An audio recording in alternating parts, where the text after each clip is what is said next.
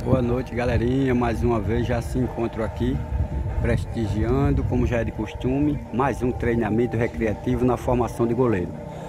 Nesse majestoso projeto, do, criado aí pela pessoa do nosso amigo Denis, trazendo a molecada para dentro da arena, para pegar um bom conhecimento, inspiração, com uma pessoa adequada, atualizada, para passar melhores conhecimentos, melhores informações para essa molecada. Quem sabe aí um deles aí futuramente se tornará um goleiro profissional. Só depende do criador e do esforço de cada um, não é isso?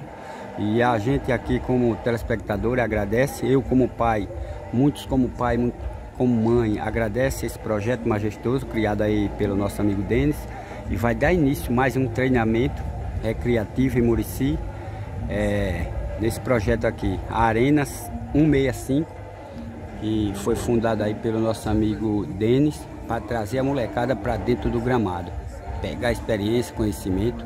E apesar de tudo eles estão apenas só começando, mas em breve aí eles estão pegando preparação, ritmo de preparo físico.